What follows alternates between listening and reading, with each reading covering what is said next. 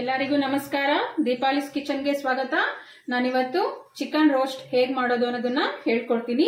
ಅದಕ್ಕೆ ಬೇಕಾಗಿರೋ ಸಾಮಗ್ರಿಗಳು, ಈರುಳ್ಳಿ, ಒಂದು ಮೀಡಿಯಂ ಸೈಜ್ ಈರುಳ್ಳಿ ಸಿಮೆಣಸಿನ್ಕಾಯಿ ಏಳರಿಂದ ಎಂಟು, ಕೊತ್ತಂಬರಿ ಸೊಪ್ಪು, ಒಂದು ಏಲಕ್ಕಿ ಅರಿಶಿನ ಪುಡಿ, ಚಕ್ಕೆ ಲವಂಗದ ಪುಡಿ, ಉಪ್ಪು, ಕಾಳು ಮೆಣಸಿನ ಪುಡಿ, ಶುಂಠಿ ಬೆಳ್ಳುಳ್ಳಿ ಪೇಸ್ಟ್, ಚಿಕನ್, ಫ್ರೈಡ್ ಆನಿಯನ್ಸ್, ಧನಿಯಾ ಪುಡಿ, ಎಣ್ಣೆ, ತುಪ್ಪ.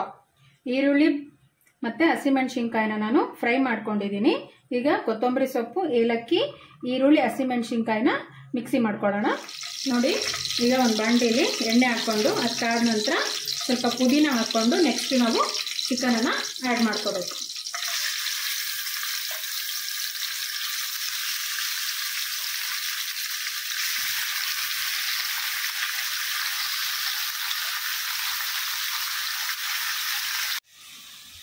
ಚಿಕನ್ ಹಾಕೊಂಡು ನೀಟಾಗಿ ಮಿಕ್ಸ್ ಮಾಡ್ಕೋಬೇಕು. ಅದಕ್ಕೆ ಅರಿಶಿನ ಪುಡಿ ಮತ್ತು ಉಪ್ಪನ್ನು ಹಾಕ್ತಾಯಿದ್ದೀನಿ ನಾನೀಗ. ಈಗ ಚೆನ್ನಾಗಿ ಮಿಕ್ಸ್ ಮಾಡ್ಕೋಬೇಕು. ಇದರಲ್ಲಿ ನೀರಿನ ಅಂಶ ಇರುತ್ತೆ ಚಿಕನಲ್ಲಿ, ಅದು ಬಿಡುತ್ತೆ. ನೀವು ಸ್ಟ್ರೈನರಲ್ಲಿ ಚಿಕನ್ ತೊಳೆದು ಇಟ್ಕೊಂಡಿದ್ರೆ ನೀರಿನ ಅಂಶ ಕಡಿಮೆ ಆಗುತ್ತೆ ಆವಾಗ ಬೇಗನೂ ಕುಕ್ ಆಗುತ್ತೆ. ಈ ಥರ ನೀಟಾಗಿ ಚೆನ್ನಾಗಿ ಮಿಕ್ಸ್ ಮಾಡಿಕೊಂಡು ಈಗ ಇದಕ್ಕೆ ನಾನು ಏನು ಫ್ರೈಡ್ ಆನಿಯನ್ಸ್ ಇತ್ತಲ್ಲ, ಅದನ್ನು ಹಾಕ್ಕೋತಾ ಇದ್ದೀನಿ. ಹಾಗೆ ಶುಂಠಿ ಬೆಳ್ಳುಳ್ಳಿ ಪೇಸ್ಟ್ ಹಾಕೊಳ್ತಾ ಇದ್ದೀನಿ.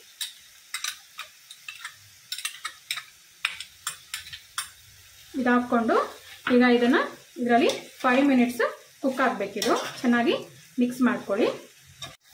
ನೋಡಿ, ಇದು ಚೆನ್ನಾಗಿ ಕುಕ್ ಆಗಿದೆ. ಈಗ ನಾವು ರುಬ್ಕೊಂಡಿರೋ ಮಸಾಲೆನ ಇದಕ್ಕೆ ಆ್ಯಡ್ ಮಾಡ್ಕೋಬೇಕು. ನೋಡಿ, ಈಗ ಚೆನ್ನಾಗಿ ಕುದೀತಾ ಇದೆ. ಈ ಹಂತದಲ್ಲಿ ನಾವು ಚಕ್ಕೆ ಮತ್ತು ಲವಂಗದ ಪುಡಿ. ನಾನು ಇದನ್ನು ಪೌಡ್ರ್ ಮಾಡಿ ಇಟ್ಕೊಂಡಿರ್ತೀನಿ. ಈ ಪೌಡ್ರ್ ನಿಮ್ಮ ಹತ್ರ ಇಲ್ಲ ರೆಡಿ ಆಗಿಲ್ಲ ಅಂತ ಹೇಳಿದ್ರೆ ನೀವು ಚಕ್ಕೆ ಮತ್ತು ಲವಂಗನ ಏನು ಮಸಾಲೆ ರುಬ್ಕೊಳ್ತೀರಲ್ಲ ಆವಾಗಲೇ ರುಬ್ಕೋಬಹುದು. ಇವನ್ನ ಹಾಕ್ತಾ ಇದ್ದೀನಿ. ಹಾಗೆ ಧನಿಯಾ ಪುಡಿ. ಹಾಕಿ ಚೆನ್ನಾಗಿ ಮಿಕ್ಸ್ ಮಾಡಿಕೊಂಡು ಇದನ್ನು ಮಧ್ಯಮ ಉರಿಯಲ್ಲಿ ಒಂದು ಫೈವ್ ಟು ಟೆನ್ ಮಿನಿಟ್ಸು ಬೇಯಿಸ್ಕೋಬೇಕು.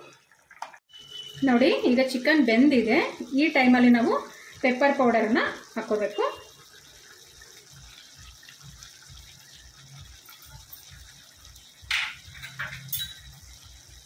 ನೋಡಿ, ನಿಮ್ಗೆ ಇಷ್ಟು ಗ್ರೇವಿ ಬೇಕು ಅನ್ನೋದಿದ್ರೆ ಇಷ್ಟು ಸಾಕು. ಇನ್ನೊಂದು ಸ್ವಲ್ಪ ಡ್ರೈ ಬೇಕು ಅಂದರೆ ಇನ್ನೊಂದು ಸ್ವಲ್ಪ ಕುದಿಸ್ಕೋಬೇಕು. ಆವಾಗ ಡ್ರೈ ಆಗುತ್ತೆ.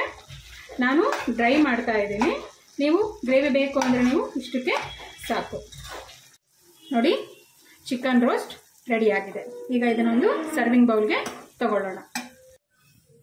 Wow super mummy. ನೋಡಿ ಚಿಕನ್ ರೋಸ್ಟ್ ರೆಡಿ ಆಗಿದೆ ನೀವು ಕೂಡ ನಿಮ್ಮ ಮನೇಲಿ ಟ್ರೈ ಮಾಡಿ ಹೇಗಿತ್ತು ಅನ್ನೋದನ್ನು ನನಗೆ ಕಮೆಂಟ್ ಮೂಲಕ ತಿಳಿಸಿ. ವಿಡಿಯೋ ಇಷ್ಟ ಆಗಿದ್ರೆ ಲೈಕ್ ಮಾಡಿ ಶೇರ್ ಮಾಡಿ ಹಾಗೂ ಸಬ್ಸ್ಕ್ರೈಬ್ ಆಗಿ. ಧನ್ಯವಾದಗಳು.